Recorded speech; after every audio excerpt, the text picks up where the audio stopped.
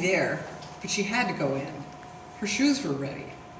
Just because he was a smarmy salesman didn't mean she couldn't march right in and pick them up.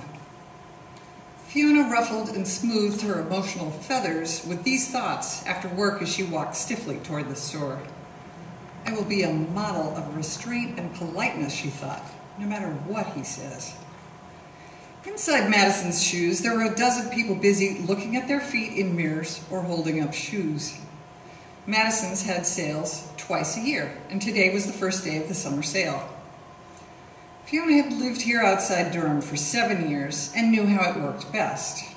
Last week, she had come in and tried on six different pairs of shoes.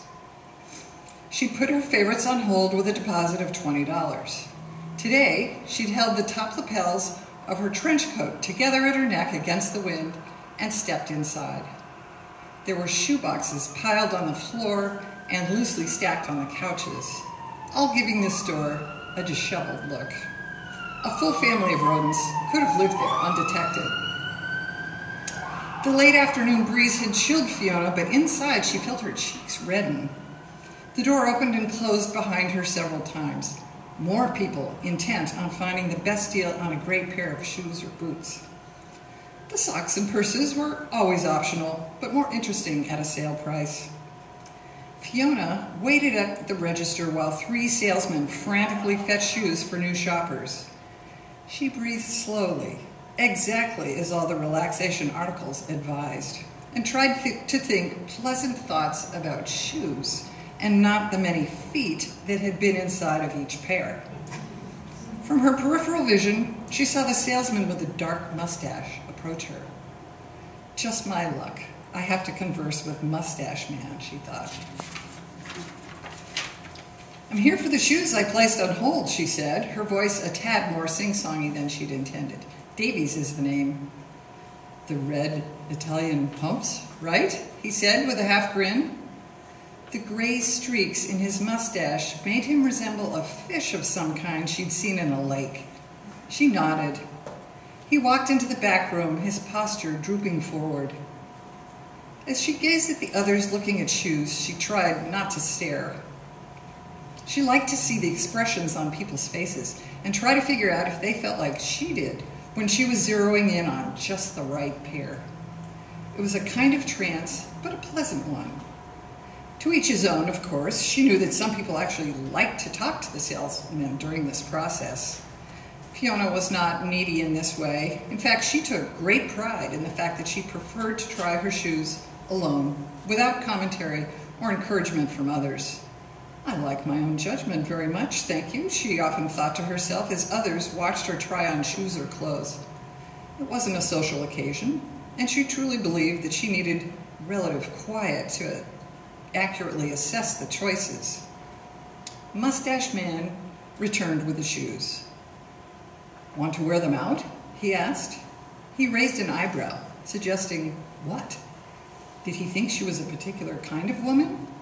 He looked at her chest. That won't be necessary, she said. She had never done that in her life and wondered what kind of person said yes to that question. He rang them up on his register.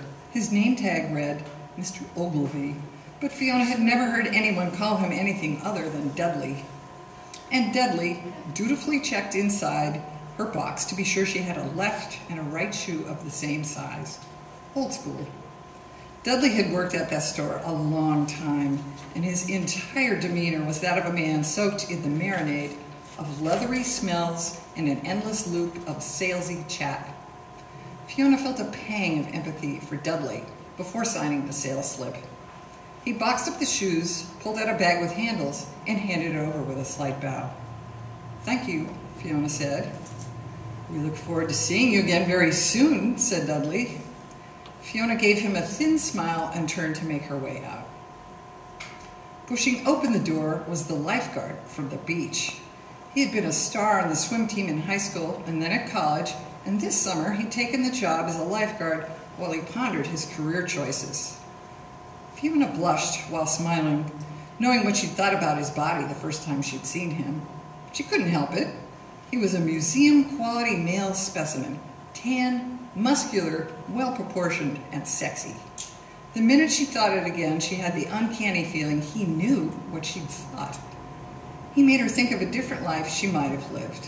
It made it felt good, and it also made her feel lightheaded. Evening, he said, bowing his head slightly as if he'd taken off a hat. Good evening, said Fiona with a smile. She hesitated and then closed the door behind her. The shoe store was a community gathering place, and she felt affection for this aspect of her town. She felt herself wanting to go back in, offering some excuse, but what could it be? She hadn't left anything. If only she'd been spontaneous and worn her red shoes out of the store this time. That would have made a different impression. She walked home, still lightheaded. Inside her house, she pulled out the box, took out the shoes, and slid into them. She turned on her radio and danced, imagining the lifeguard ringing the bell and stepping inside to lead. Thanks.